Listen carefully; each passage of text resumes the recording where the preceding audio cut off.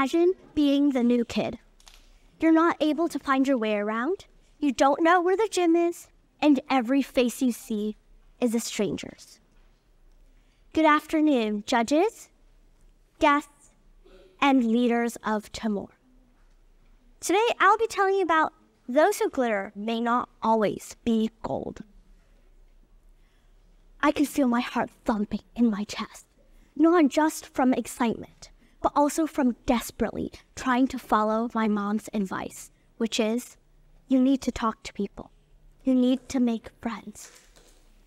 Then one day, as I was walking to class, there I saw a group of girls that caught my eye. They looked like they had just walked out of magazine. They had these huge bows in their hair.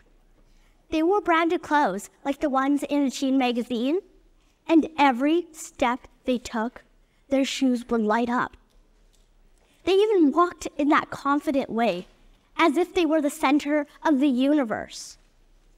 And to my shock, they approached me and asked if I wanted to hang out with them, be their friend.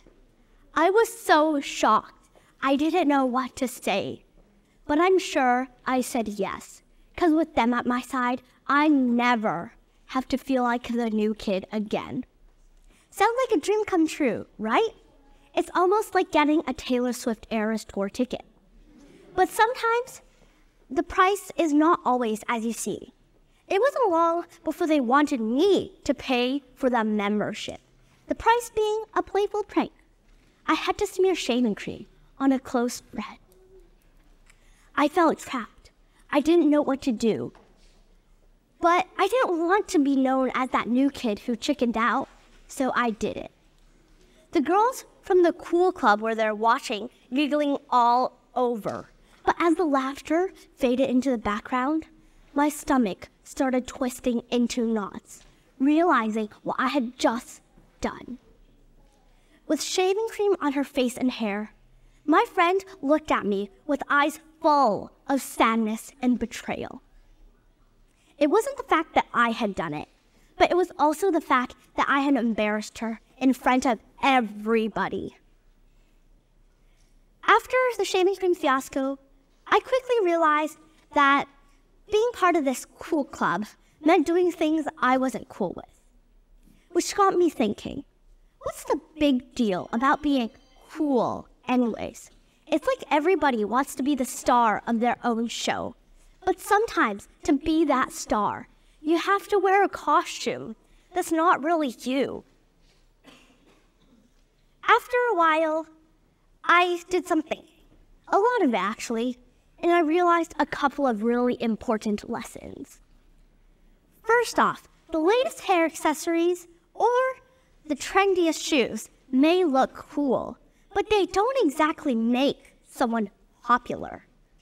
Being popular is having friends who like you for you, not for what you wear or the pranks you do. And second of all, making mistakes. Yeah, it happens. I messed up big time. But guess what? I learned from it. I apologized to my friends, and luckily she forgave me, and we became friends again. Now, here's what I want to share with every single one of you here today.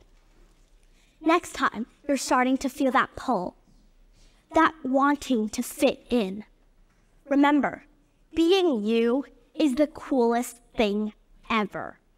And real friends, they're the ones who stick by you even if you don't have the most followers on your gaming profile or the latest hair accessories.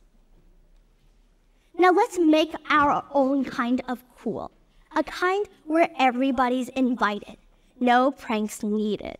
Because trust me, the best group to be a part of is one where everybody can be themselves.